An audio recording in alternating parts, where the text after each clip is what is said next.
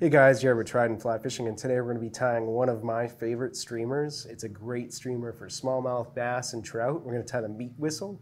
Super great pattern, tied on a jig hook, and we're going to get started on it right now. So in the vise today, I have a Daiichi 4660 and a size 1, so a 90 degree jig hook. Um, very important with this fly. You could probably tie this on a 45 degree jig hook too, but try to keep it classic and tie it on a 90. Um, for cone, I have a Hareline tungsten cone in size large. We're gonna get going on this fly by putting a lead base down. I'm gonna use 0.025 lead wire. I'm just gonna start this right above my hook point and just get going and just put a good solid base down. Um, I like to start there and wrap almost up to where my cone is, right about there, break that off. And then because you do need to leave a little bit of space in front of this cone, it's good to get that measurement in now with your lead. So right there, right where I've left it is about what we want. And then I'm just gonna get started with some thread. I'm using UTC 140 in brown. You can use pretty much any thread. Um, I would recommend going with something that matches the overall color scheme here. So just get that lead tied down and then we'll get rid of our tag here. So for a body material, I have dyed pearl diamond braid in a root beer color. So I'm just gonna start this and tie it again right behind my lead. We're not gonna get any bulges or any bulk here if we tie it behind the lead. Make sure I get that down and then I'm just gonna bring my thread all the way back up to behind the cone. So I'm just gonna wrap this body forward, this material here, and just touching turns. Uh, you don't wanna be too tight with this, but you don't wanna be too loose just cover up the hook shank here and create a nice even base and just tie that off right behind the cone. So come in here, get rid of that. The next thing I'm going to do is tie in my zonker strip. And what I'm going to do here is take a measurement, so this ends roughly behind the cone, and then I'm going to rotate this around, check that measurement again, and just poke this through here, right in the middle of that hide. Get it through, There it is. Get it back in my vise, make sure it's in there good.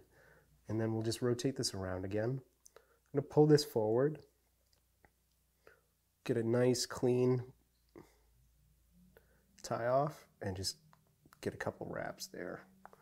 And then we'll just get rid of this hide, this extra here. Just make sure you don't cut your thread while you do this. And then anything in the way we could just cover up. There we go. So the next thing I'm going to do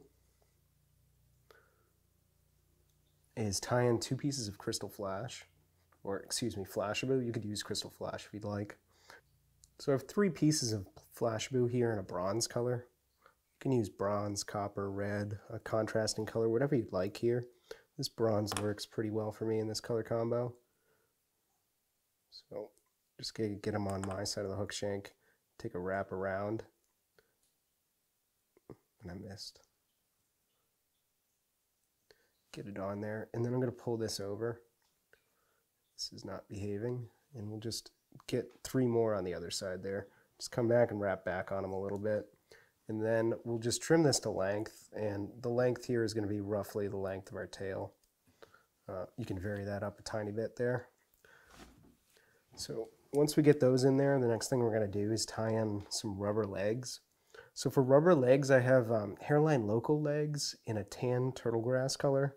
So I'm to take my rubber legs here and tie two in on my side, and then I'll do the same thing and fold them over and tie two in on the other side. Just make sure they're relatively 90 degrees on the hook shank here. And then we'll just fold this over, pull it over to the other side, and tie that off. So we're to take a measurement here, um, trim both of them to the same length on either side. And we want it to extend roughly to the end of our tail there, a little bit shorter. So where it is is actually pretty good. So we're just going to leave that in there. Uh, wrap back a tiny bit here.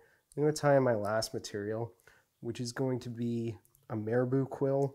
I'm just going to tie this in by the tip. I have a tan color. You could use a brown or, you know, a ginger color here, whatever you find contrasts well.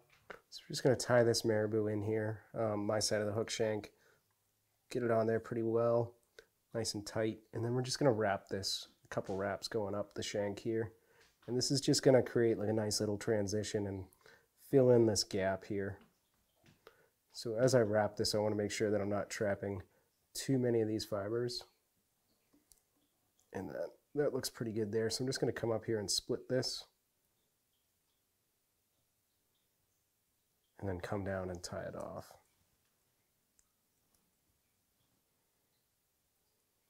There's two wraps on there. I'll get in there and take that stem out. Just going to come in here and clean that up. Check it out. That looks pretty good there. So I'm going to whip finish behind the bead.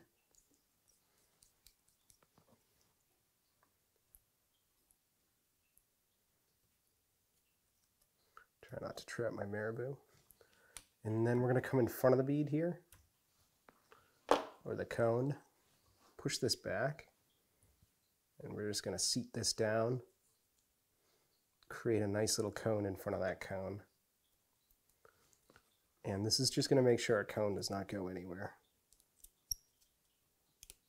And then we're going to whip finish again right over that.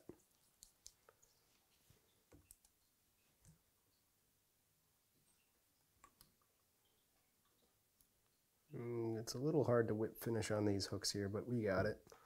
So I'm going to come in here and cover this whole thing up with a little bit of UV cure.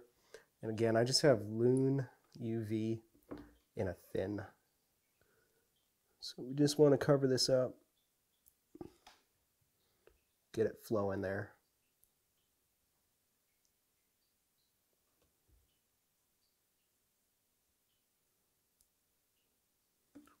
Just to finish this up by hitting it with my light, guys. That's pretty much it. Great fly to bounce around the bottom. Uh, works as a sculpin, works for a smallmouth, works for trout.